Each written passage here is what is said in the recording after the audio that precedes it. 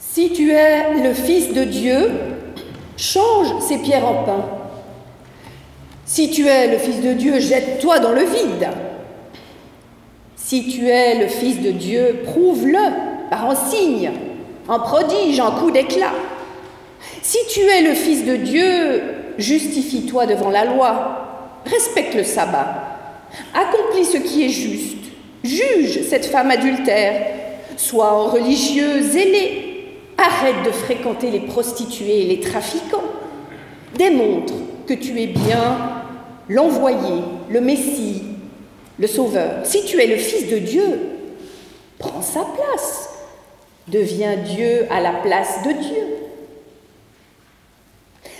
Nous préférons peut-être imaginer que Jésus n'a pas réellement été tenté, que les épreuves ne l'ont pas vraiment éprouvé, et que son échec a transformé le cœur humain, et en particulier le cœur des sages, des religieux, des pieux et des intelligents, ne l'a pas profondément affecté, puisqu'il est le Fils de Dieu, puisqu'il est ressuscité, puisqu'il savait tout cela par avance. Un Christ intouché, intouchable et sans tache. Cela nous arrange bien. Et pourtant, à lire et à relire l'Évangile à l'aune du récit de la tentation au désert et de celui de la nuit du jardin de Gethsemane, il en va tout autrement.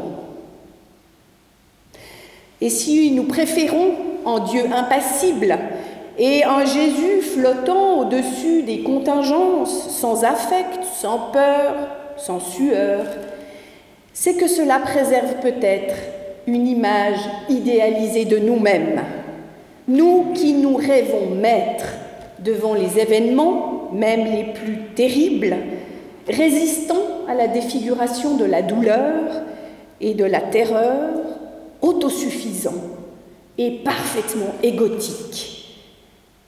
Homme sans dette et sans culpabilité, comme le dénonce Jean-Daniel Causse, le regretté théologien psychanalyste. Ou cet humain augmenté qui est destiné à tuer la mort, mettre à mort la mort. Mirage transhumaniste qui nous ravit et nous séduit au-delà de toute mesure, nous qui avons tant besoin de nous sentir invulnérables.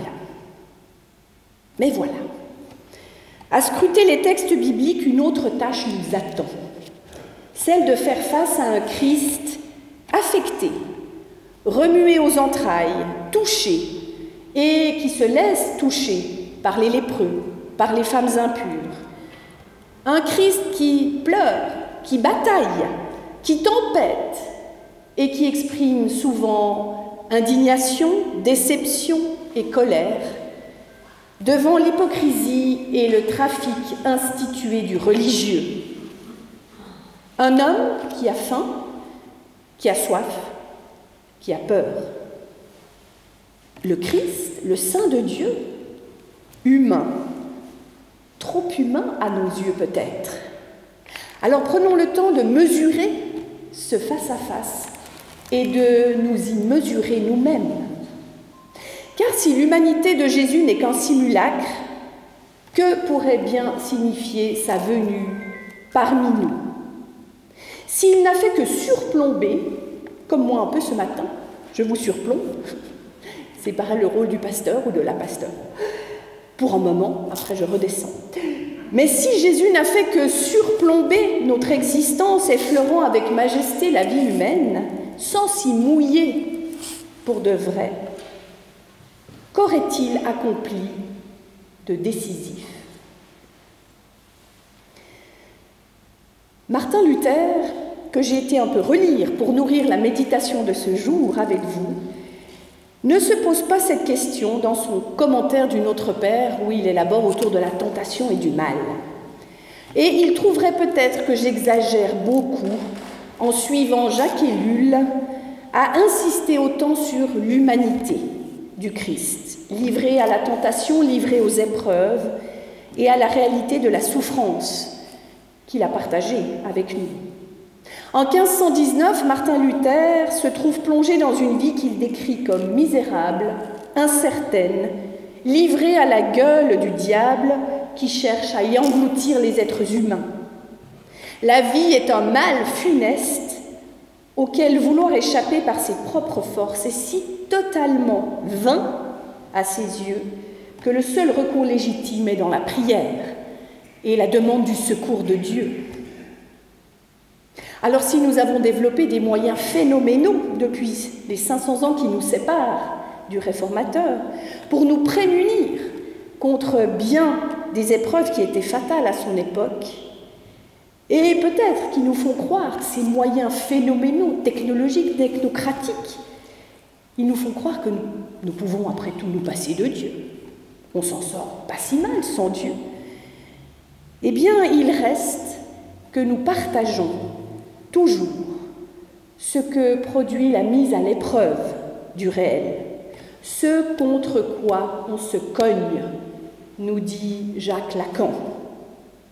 Épreuve du réel, qu'elle soit de notre fait ou liée aux circonstances extérieures, ces épreuves sont là et elles nous mettent devant des choix.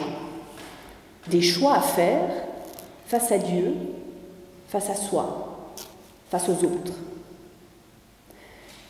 Et la pandémie que nous devons affronter depuis deux ans nous y confronte de façon répétée et de façon inattendue.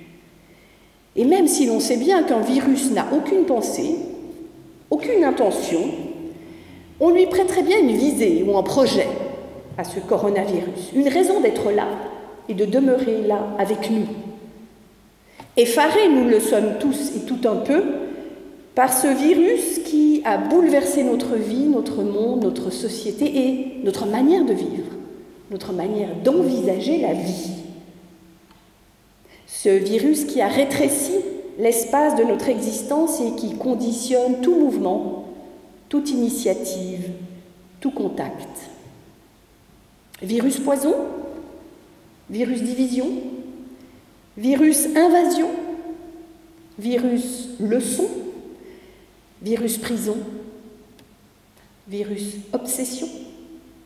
On pourrait continuer cette liste entêtante, tant le Covid-19 ne nous lâche pas, par rebond incessant, depuis qu'il est avec nous. Et peut-être que l'important, c'est qu'il nous force au choix, face au rétrécissement et aux contraintes, face à ce coup d'arrêt que nous vivons et qui nous met devant le besoin d'une nouvelle conscience face à notre planète, face aux enjeux écologiques, économiques et sociaux, face à toutes ces annonces de salut contradictoires, face au sentiment que nous sommes dépossédés de notre avenir, face à des discours haineux et clivants, nous sommes comme forcés au choix. Et c'est peut-être cela, être tenté. C'est devoir choisir face à tant de possibles, face à l'emmêlement éthique de certaines situations. Qu'est-ce qui est bien? Qu'est-ce qui est mal? Qu'est-ce que je devrais faire? Qu'est-ce que je ne devrais pas faire? Et c'est là que autant notre responsabilité que notre liberté sont requises, l'une et l'autre, pas l'une sans l'autre. Et être tenté, c'est peut-être ça, prendre le risque d'un choix. Ainsi, la tentation se vit toujours au cœur de nos tentatives, au cœur des actes que nous posons. Elle fait appel à notre conscience, elle requiert notre vigilance, notre résistance. Et oui, je l'ai dit, elle met en jeu notre liberté et notre responsabilité, pas l'une sans l'autre.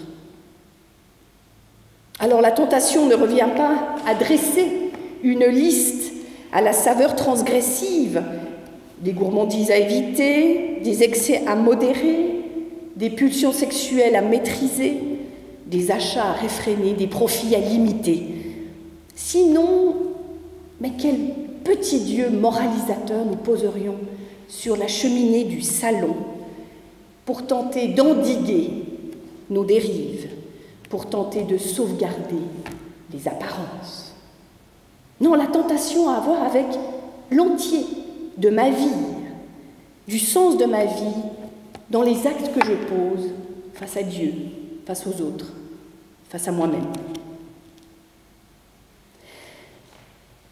Et Martin Luther va poser les fondements d'une posture théologique qui va bouleverser toute la pensée chrétienne. Parce qu'à cette question, quel sens donner à l'épreuve? Il va répondre, éprouver pour connaître, pour se connaître et connaître Dieu. Non plus souffrir pour mériter Dieu, pour gagner Dieu, c'est un peu comme si le fil à une souffrance qui servirait à expier nos fautes, à expurger notre culpabilité, à, à m'adouer ou à plaire à Dieu, ce fil est coupé. Le jeu pervers peut prendre fin. L'épreuve du réel devient le lieu de la connaissance, d'une connaissance possible de soi, des autres, du monde et de Dieu. Alors oui, il s'agit de naître à soi.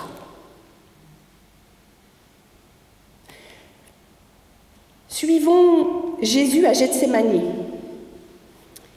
où il dit à ses disciples, priez, afin de ne pas entrer en tentation.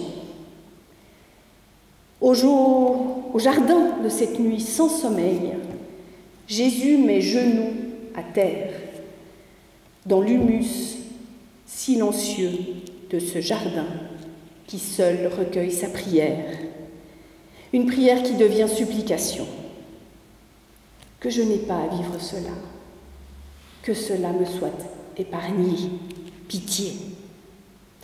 Au jardin des nuits sans sommeil, il y a l'angoisse incommensurable de tous les condamnés, sueur et larmes, qui brûlent, qui déchirent et qui stérilisent la terre, toute terre de chaque jardin. C'est le cri humain qui s'élève devant l'insoutenable douleur, en diagnostic de maladie incurable, une séance de torture programmée, des maltraitances répétées et quotidiennes, la perte d'un proche, la perte d'un, d'une bien-aimée, la perte de ce qui nous est le plus cher. Les corps malmenés et violentés des femmes, des enfants, des hommes, abandonnés sur la terre brune, noire ou rouge, là-bas, loin de chez nous, mais aussi ici, dans nos maisons, dans nos rues. Même l'ange du Seigneur ne semble plus offrir un quelconque réconfort devant l'inéluctable de telles épreuves. Le mal devient alors malheur, tel un clou fiché planté dans l'âme, comme le dit Simone Veil. Parfois, la nature, seule, est témoin. Elle accueille en silence notre cri, notre désespoir. Elle porte notre prière, notre combat. Priez afin de ne pas entrer en tentation, mais les proches se sont assoupis, les amis se sont éloignés, le téléphone a arrêté de sonner, les liens se sont taris, la solitude parfois se fait assourdissante. Et la tentation prend ici cette teinte du sommeil, de l'ensommeillement, qui est comme un abandon d'autrui. C'est trop. Les disciples sont trop tristes et ils s'assoupissent au pied des arbres. Quelque chose ne peut pas être assumé. Parfois le sommeil est comme une fuite d'une lâcheté qu'on aimerait bien ignorer. Alors, au pied de l'olivier, à genoux, Jésus éprouve dans sa chair d'homme, dans une lutte torturante, ce qu'il a vécu au désert face à ce Satan, dans une passe d'armes un peu théorique, dans un jeu de langage, mais voilà que là, il l'éprouve dans sa chair d'homme. C'est ce qu'il a enseigné en haut de la montagne à ses disciples. Dès que vous priez, dites Notre Père qui est aux cieux. Père du ciel, mon Père, ne nous laisse pas entrer en tentation, ne m'abandonne pas ainsi, seul, broyé d'angoisse et de peur. Délivre-nous du mal, délivre-moi de cette angoisse, de, ces griffes, de la désespérance, de la déréliction. Au jardin de cette nuit sans sommeil, Jésus livre ce combat radicalement humain face à l'inhumain, radicalement inégal face au pouvoir d'anéantissement, radicalement solitaire à la racine de son être. Et il l'assume dans son corps, dans son âme, comme fils de Dieu et fils de la terre. Il n'y a rien à opposer dans ce combat. C'est tout son être, humain et divin, qui passe au creuset de cette épreuve. Et au-dessus de cet abîme, il y a comme un fil qui est presque invisible, le fil d'une prière nue. Que ta volonté soit faite et non la mienne comme s'il s'agissait de tout remettre à Dieu et de tenir ce fil de vie au-dessus de l'abîme.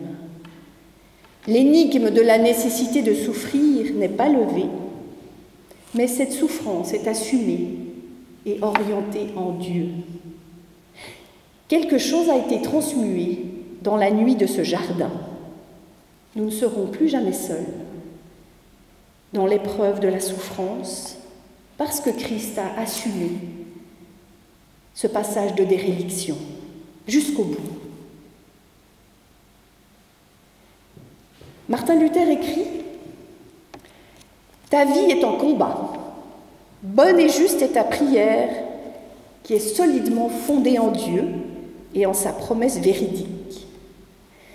Car ce sont la parole et la promesse de Dieu qui rendent ta prière bonne et t'exauce véritablement.